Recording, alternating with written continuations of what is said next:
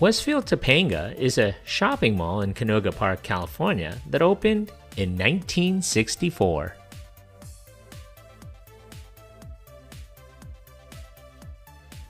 If you've clicked onto this video, then you know what today is. It's Monday, Monday, Monday, Mall Madness. Every Monday, I'll be releasing a new video on a defunct or maybe not so defunct mall and its history. Make sure you stick around to the very end of the videos. I'd like to see if you, the viewer, are paying attention. So if you haven't already, hit that subscribe button for my latest mall video, defunct store, occasional throwback Thursday, or soda history. Leave a suggestion about a future video or memories of this mall. Thanks.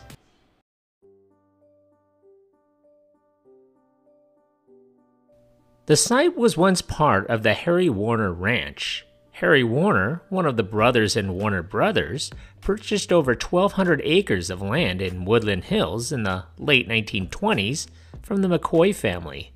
Their area was located 25 miles northwest of downtown LA. A portion of the ranch was utilized for raising thoroughbred racehorses. Other sections were set aside for filming purposes, including the erection of a standing sets. Over time, these sets included a western town, a Mexican village, a ranch set, a western fort, and many other sets. The area was eventually closed and sold off to SoCal Edison, who divided it into subdivisions. Master architect Victor Gruen was involved in the design of the first major enclosed shopping center in Southern California. The complex was built on a 58 acre tract in Los Angeles' San Fernando Valley.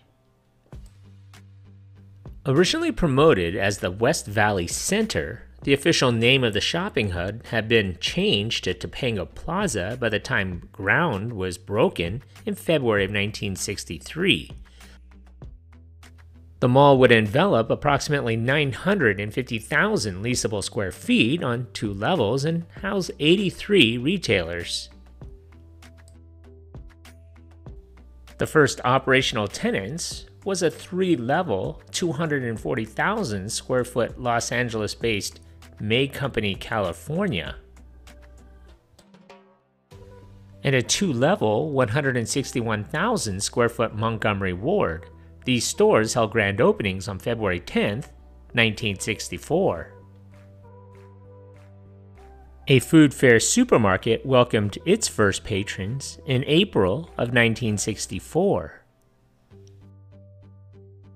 This was followed by the official dedication of a third anchor, a three level, 160,000 square foot Los Angeles based The Broadway, which opened its doors on August 24, 1964. Charter Topanga tenants included Mullen and Bluett, Silverwoods Men's and Boys, Hudson Jewelers, Sutton Brothers Home Decorating, and a one level, 18,000 square foot Joseph Magnin. Grand openings at Topanga tended to be a star studded affair, attended by Hollywood personalities such as Zsa Zsa Gabor, Lorne Greene, Buster Keaton, and Steve Allen. The Topanga Plaza Ice Arena, later called the Ice Capade Chalet, opened in March of 1965 and was located on the mall's lower level at the southeast corner of the structure surrounded by the original food court. It would later close in the late 1970s. A rain fountain called the Wonderfall feature consisted of a, several circular arrays of vertical monofilament lines stretching from the ceiling to the raised landscape area on the floor. The effect of the rain was created by droplets of recirculated glycerin slowly descending along the wetted lines and was in the adjacent south court. The north court included bird aviaries, planters, and a gazebo. The terrace restaurant overlooked the area from atop the May Company store. A cinematic venue, the RKO Stanley Warner Topanga Theater, was built across the boulevard from the Broadway on the southeast corner of Topanga Canyon and Victory Boulevards. This cinema opened on October 26, 1965. In 1966, the Topanga Plaza was used in location shooting for Columbia Pictures' Divorce American Style. In the film, Debbie Reynolds and Emmaline Henry stroll through the North Court ascend an escalator to the second level, traipse through Florsheim shoes, and then head into Joseph Magnin. The Joseph Magnin store closed in 1980. An Ohrbach's boutique store was installed at Topanga Plaza. It assumed the vacant Joseph Magnin space on the mall's upper level as well as the lower level area previously leased by by Thrifty Drug and Original Cookie Company. The Topanga Ohrbach's, which encompassed 36,800 square feet, was dedicated on August 21, 1980. The first mall expansion got underway in January of 1984. As part of the $16 million renovation, columns and archways were installed along the shopping concourse, Surfaces were painted with a neutral palette using subtle accent colors, and the 15 bay Plaza Cafe food court was built in existing space. Its area had been utilized for five inline stores after the ice arena was removed in the early 1980s. On April 6, 1984, a two level, 154,000 square foot Nordstrom opened as the fourth anchor. Stores opening at the part of the mid 1980s refurbishment included Edgewood Cutlery, Music Box and Clock Shop, From the Heart, and DJ's Fashion Center for Men. The Montgomery Ward store was also downsized at this time. Upper and lower level shops were built in the area bordering the center court. When the construction dust settled in the fall of 1984, Montgomery Ward encompassed approximately 143,000 square feet. In December of 1986, Ohrbach's closed. Topanga Plaza now covered approximately 1.1 million leasable square feet and contained 106 stores and services under its roof. Further renovation work was done between January and November of 1992. This $45 million project, including a seismic retrofit of steel and concrete framework. In 1992, the original developer, May Centers Inc., was renamed Centermark Properties and was sold by the parent company, May Department Stores, in 1993 to a consortium led by Westfield Holdings Limited. On January 31, 1993, the Topanga Plaza May Company closed. It would reopen and it's a rebranded Robinson's May. A massive earthquake hit the San Fernando Valley on the morning of January 17, 1994. The inline store section of Topanga Plaza had been seismically reinforced just two years earlier and incurred only modest damage. The mall reopened on January 28, 1994. The four anchor stores had been severely shaken. Nordstrom resumed business in February, followed by the Broadway in May and Montgomery Ward in September.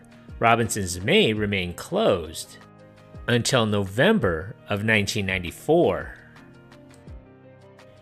In 1996, the Broadway closed. As a result, Sears relocated from its nearby Fallbrook Center Mall and opened on November 2nd. In November of 1998, the shopping hub was bequeathed with a new name, the Westfield Shopping Town Topanga. In November of 1999, Westfield established 100% ownership of the mall. In 2001, Montgomery Ward closed as a result of the chain ending operations. In 2002, the mall was featured in the movie One Hour Photo starring Robin Williams. A fourth mall renovation on the drawing board since 1997 got underway in February of 2005. The vacant wards was torn down. A multi level addition encompassing 753,000 leasable square feet was built. In all, over 100 stores and restaurants were added. These included a three level, 200,000 square foot Nordstrom, which had relocated on the Sears side of the mall, and a two level, 100,000 square foot Target, which opened on October 6, 2006. Three parking garages were also constructed. In 2006, Robinson's May closed.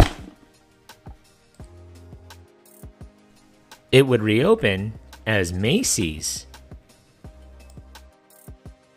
A new Westfield Topanga was dedicated on October 6, 2006. The mall now housed 270 tenant spaces. However, the $500 million renovation was far from being finished. In 2008, a two level 120,000 square foot Neiman Marcus opened as its fifth anchor, which opened in the original Nordstrom store on September 5, 2008.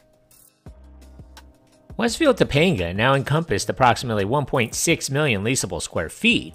In late 2007, Westfield announced plans to connect Westfield Topanga and Westfield Promenade with a $750 million village at Westfield Topanga. This urban village would be built on 30 acres section lying between the two malls. The NBC comedy Parks and Recreation included scenes at the Westfield Topanga during an episode of the fourth season entitled Pawnee Rangers. The mall would be featured in the 2014 movie Captain America the Winter Soldier. The scene used in the film was shot in the Apple Store.